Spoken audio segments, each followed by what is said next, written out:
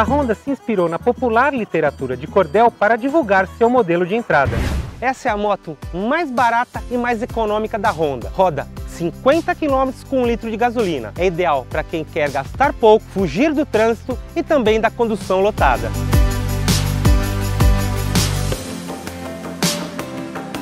A principal mudança, além dessa nova textura no banco, é que a Pop ganhou freios combinados. Há uma distribuição de frenagem entre as duas rodas, mais segurança para o motociclista.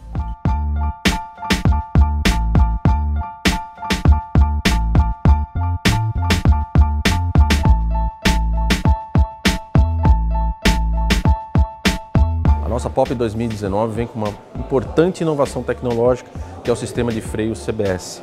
Esse sistema de freio CBS, que é o sistema combinado, ele é muito apropriado principalmente para quem tem pouca experiência ou receio de usar somente o freio dianteiro. Então, na frenagem com CBS, quando você usa o pedal de freio, você tem a distribuição de frenagem da roda traseira e roda dianteira. Então, você tem uma frenagem mais equilibrada que pode até salvar vidas, uma vez que com essa frenagem mais equilibrada você encurta a distância de frenagem.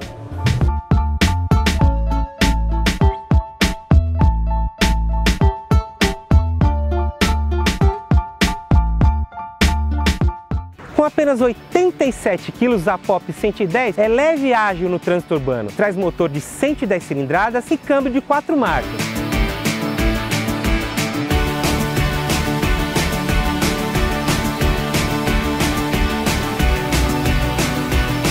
E torque suficiente para encarar ladeiras, até com garupa.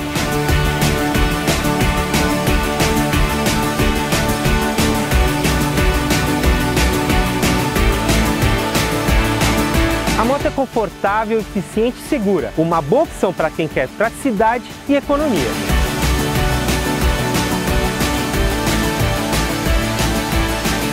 A principal diferença que eu notei pilotando a nova Pop em relação à minha é a eficiência dos freios. E essa eficiência dos freios pode, com certeza, para um condutor, um piloto menos experiente, ele se beneficiar da, dessa nova tecnologia sem ele estar tá sabendo.